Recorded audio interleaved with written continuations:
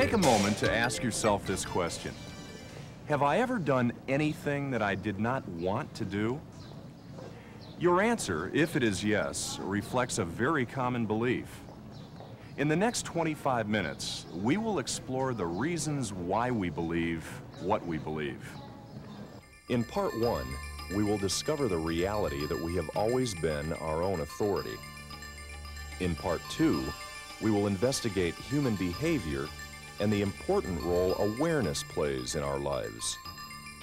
In part three, we will review the understanding necessary to begin improving our self-esteem.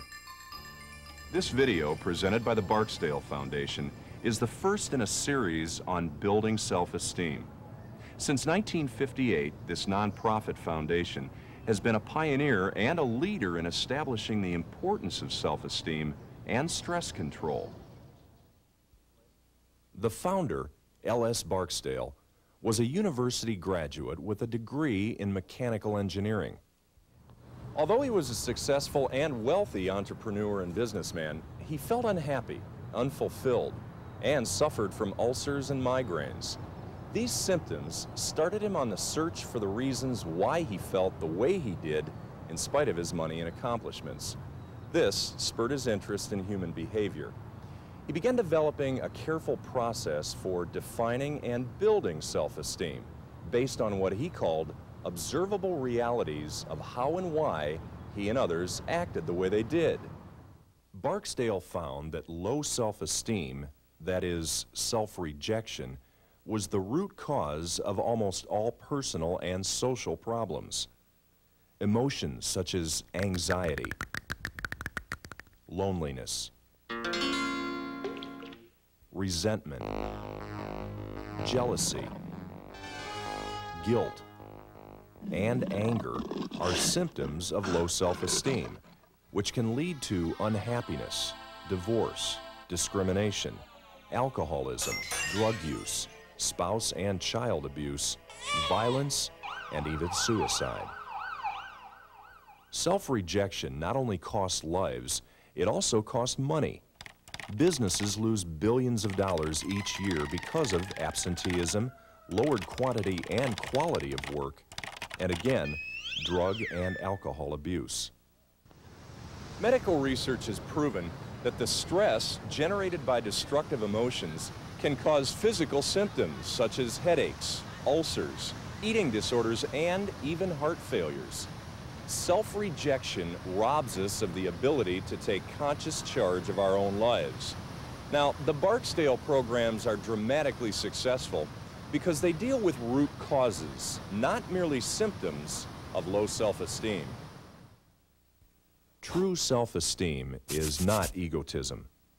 Self-esteem is not a sense of hmm. superiority. Self-esteem does not come from having great intelligence or talent or wealth. Self-esteem is an emotion, how warm and loving we feel toward ourselves. And sound self-esteem enables us to genuinely love and accept ourselves and others. As your self-esteem improves, you will find that you will enjoy your friends and family more. And when alone, you will appreciate your own company.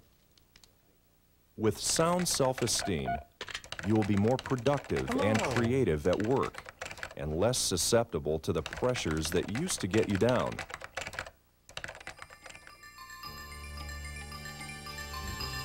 So how do we go about building self-esteem? Well, remember that question, have I ever done anything that I did not want to do? Most people say yes and can list a number of examples. Let's take just one example and work out the logic with the following exercise. Say that the office where you work was closing and you were being transferred to another branch office across the country. Wouldn't your answer be, I didn't want to do that? Keep your situation in mind as you ask yourself the following questions. Well, why did you go? Oh, you didn't want to lose your seniority and pension, and you like your line of work. How would you have felt if you had not gone? well, you were anxious and frustrated. You would have been worried about your income and how you were going to pay your bills. What price would you have had to pay for not going? That's right. You would have lost your seniority and pension. You'd have to look for a new job. You'd have to interview all over again and learn new job skills. You might even have to take a pay cut. Were you willing to pay this price? Well, of course not. Didn't you do what you would rather do under the circumstances? You may not have liked it, but wasn't it what you most wanted to do, considering the alternatives and the total price and benefits involved? Let's take it a step further. Is there anything within your capabilities that you cannot do? No. Isn't it the price demanded that makes you feel you had no other alternative? Yes, it is. Now, based on the previous questions and your answers, isn't the following a true statement of human behavior? I am my own authority. I am free to do anything I myself see fit. There is nothing within your capabilities you cannot do. You cannot, however, avoid paying the price demanded for anything you do. Again, let's consider the observable reality that we are our own authority. Not our parents, not our spouses or boyfriends or girlfriends. Not teachers, employers, police, or even the government. When we realize that we have always been our own authority and have always been responsible for the consequences of everything we do or even refuse to do, then we see that we have the power to accomplish our aspirations. We have the power to take on new endeavors. Of course, that also means that we have the freedom to make mistakes or show weakness. So you see, we are responsible for ourselves because we benefit or suffer from the decisions we make. Just realize that good and bad, fair and unfair, and right and wrong are just intellectual concepts. There are only wise and unwise actions. So before you make a serious decision, ask yourself the following questions. Is this action wise? Will it contribute to my basic needs? Will I hurt myself or others? What is the total price involved? Am I willing to pay that price? Until you consciously accept the reality that you are your own authority, you cannot experience sound self-esteem.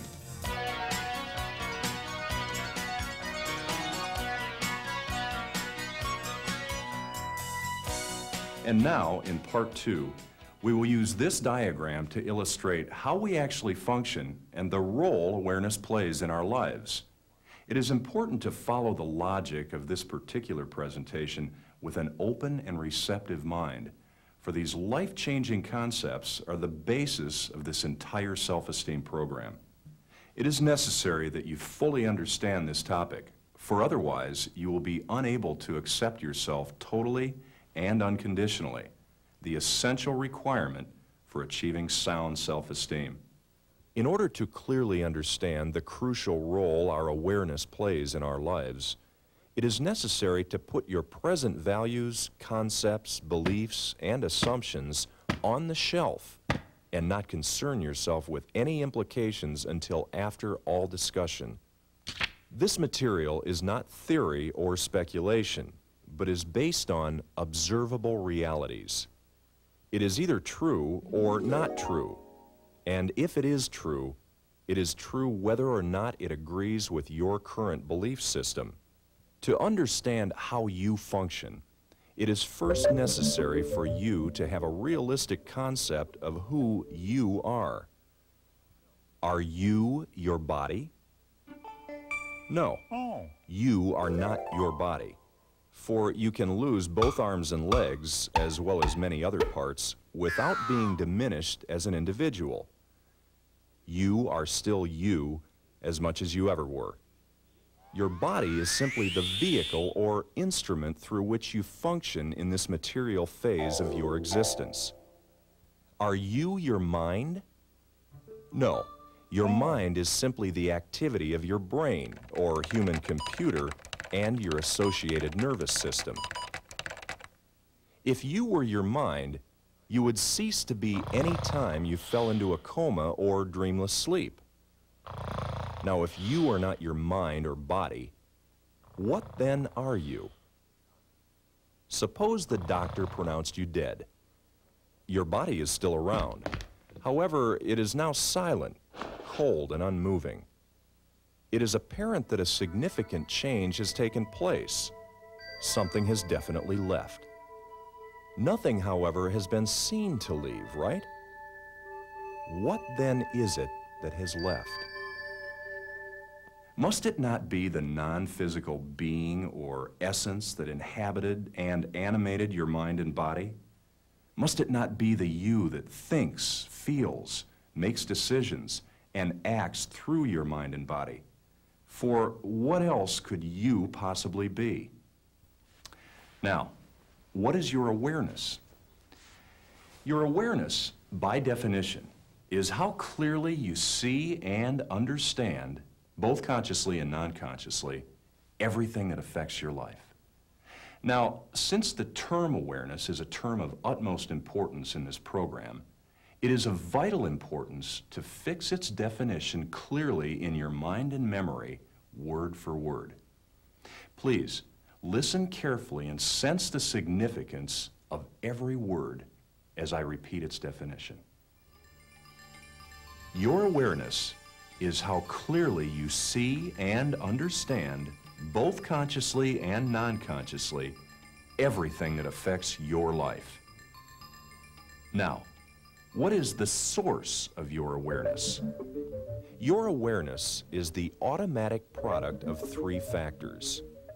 Your heredity, your intuition or inner knowing, and your total life experience including the full impact of your lifelong environment. What is heredity? Heredity is everything you brought into the world with you. What is inner knowing? Your inner knowing is another term for your intuitional insights. Your inner knowing is the information you perceive directly without benefit of intellectualizing or rationalization. Your inner knowing is your direct contact with the inner wisdom ever waiting at the threshold of your consciousness. Now, while your awareness is continually changing, owing to continual input from your inner knowing and total life experience, at the instant of any decision, your awareness is as fixed or frozen as a block of ice, for all input has ceased during that point in time. At any given instant, your awareness simply is what it is, the automatic product of your heredity, inner knowing, and total life experience, none of which factors you can change at any given time. Your prevailing awareness is your awareness at any given point in time.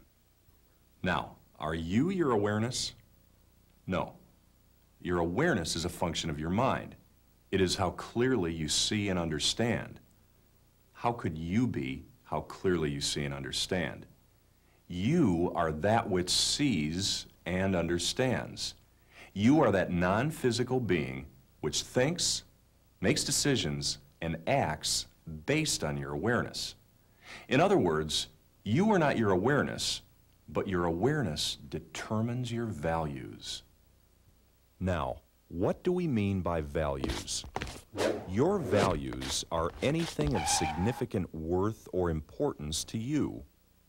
For example, they can be something tangible, such as a new home or car, or something abstract, such as beauty, honesty, justice, or whatever. Your values are sound or distorted depending on the degree that your awareness is in alignment with reality with what actually is. It is your values that generate your desires. For example, a value on a swimming pool generates a desire to own one. Our desires become needs when they are so strong that we do not feel good until they are satisfied. Now, at any given time, you may have a number of competing needs. Your most intense competing need is your dominant need. How can you tell it is your dominant need? Because it is the need on which you act. Your dominant need is the one that motivates you. Now, what is the function of tension? The tension generated by your dominant need is simply your signal to act. Why? Because tension makes you uncomfortable, and your basic need is to feel good mentally, physically, and emotionally. To relieve this tension, it is necessary to make a decision to act in order to satisfy your dominant need. Now, what determines how you decide to satisfy your dominant need? Your prevailing awareness. Why? Because it is how clearly you see and understand everything that affects your life that indicates how you can best satisfy your dominant need and rid yourself of tension. To summarize, to release the tension generated by your dominant need, you make your decision and take action based on the data supplied by your prevailing awareness. Now, in view of what you have just learned, what is a valid definition of actions? Your actions are the means you select based on your prevailing awareness to satisfy your dominant or motivating needs. This is all your actions are, merely the means you choose to satisfy your dominant or motivating needs. Now, every action has consequences. The consequences of your actions make you inescapably responsible for everything you do or neglect to do. Why? Because by definition, responsibility means you are answerable or accountable for your actions. Can you ever escape responsibility for your actions or behavior? No, definitely not. Why? Because you inevitably benefit or suffer according to the consequences of everything you think, say, do, and feel. Contrary to general opinion, you cannot be irresponsible. There is no such thing as a cop-out. For there is no way you can possibly avoid the consequences of your actions, be they good, bad, or indifferent. You may be unreliable, but it is impossible to be irresponsible. Even if you get another person to make your decisions, you are still responsible, for you are the one stuck with the consequences of your actions. Now, as the diagram shows, your total life experience is changed by the consequences of your actions. Your new life experience then feeds into your prevailing awareness and changes it. This completes a need cycle, and you are ready to handle your next dominant need. You now have a new prevailing awareness and might act differently in a similar situation in the future.